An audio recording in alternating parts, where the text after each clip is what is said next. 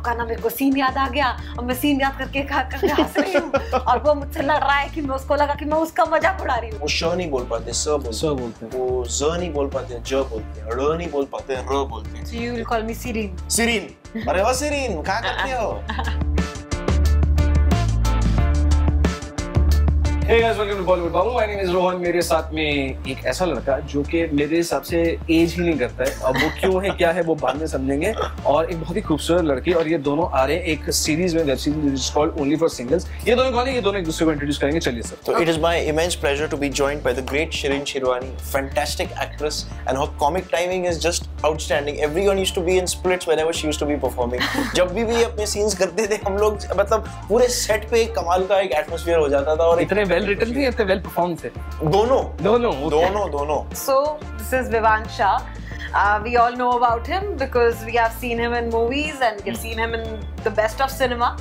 तो हमारी सीरीज़ में विवान प्ले कर रहे हैं मिक्की जो कि बहुत ही इंटरेस्टिंग और uh, uh, बहुत ही फन कैरेक्टर है and what about Vivaan I would like to say that he has a brilliant timing to the scene whatever the scene requires he has his own uh, thought about the scene only for singles ये ऐसा title क्यों है मतलब इसका एक meaning ये लगता है कि सिर्फ़ सिंगल लोगों को देखना चाहिए ऐसा कुछ नहीं आई थिंक दोनों अ, जो कपल्स भी हैं और दोनों सिंगल्स भी हैं वो काफ़ी रिलेट कर पाएँगे क्योंकि जितने भी किस्से हैं लाइफ के या शो के भी सबके साथ आई थिंक हुए हैं Okay. सबके साथ सबको the trials and tribulations of like everyday life being single whether it's even in a hostel actually Hmm. you know actually because being single under the same roof five six people it's almost like a hostel environment जो जैसे fights होते हैं politics होते हैं relationships होते हैं एक दूसरे के साथ तो आई थिंक बहुत ही बहुत बहुत ही इंटरेस्टिंग किस्म की कहानी है और बहुत ही इंटरेस्टिंग कैरेक्टर्स है क्योंकि I think the great about this show is that you get you become friends with the characters and then you just like hang out with them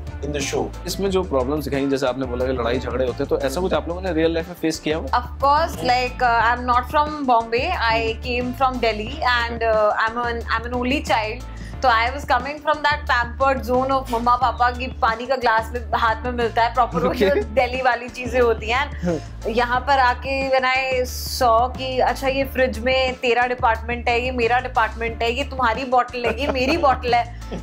like कि हम तो साथ में रह रहे हैं ना सब तो इसमें इसमें कौन सी बड़ी बात है?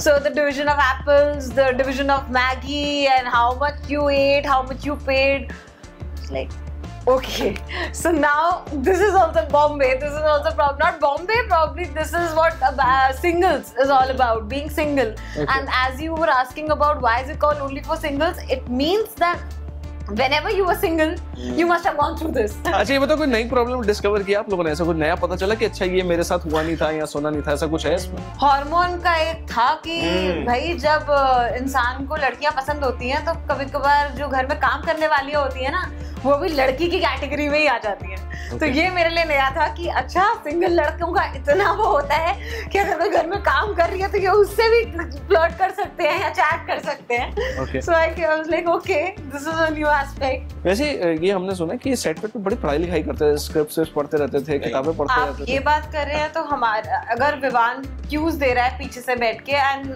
by chance if I look at him he'll be writing something he'll be reading something and i was like you're giving the cues and he's like my mind is constantly working and if whatever i'm thinking uh, i write it and he used to write it in his phone yeah, yeah. and wow. i used to wonder ki, aap, what do you you know keep writing? So he's a freak. He'll read he'll write. Okay. and he, he, he's a writer also. So he some of the greatest poetry is written in a traffic jam talking of you know acting and creative process you know Naseer sahab has worked so much on his craft कि अब मुझे लगता है कि वो अपने आप में एक परफेक्ट एक्टर की डेफिनेशन इज सिनोनिम में तो वो पहली बात तो ये बताइए कि like when scripts come to you does he like kind of advise you like whether you are sure not sure कैसा yes होता है yes क्या yes absolutely when he and uh, so he definitely sometimes for instance जैसे जब बिहारी का किरदार करना पड़ा Hmm. तो I did take his help quite a bit because he's played a Bihari in this film called Par Correct. long back in the 80s and Yeah. it was a actually the character that he was playing had more of a it was more of the Bengal Bihar border so it was a slightly different dialect but he taught me some basic uh, things like जैसे बिहारियों को वो वो श नहीं बोल पाते स बोलते सर बोलते हैं वो ज नहीं बोल पाते ज बोलते हैं ड़ नहीं बोल पाते र बोलते हैं So you will call me Sirin. Sirin अरे ओ सिरीन क्या करते हो that would be fun you know just doing a video like that अच्छा तो तो बाकी मतलब what is what is like the other advice like when he looks at your work क्या क्या बोलते हैं वो आपको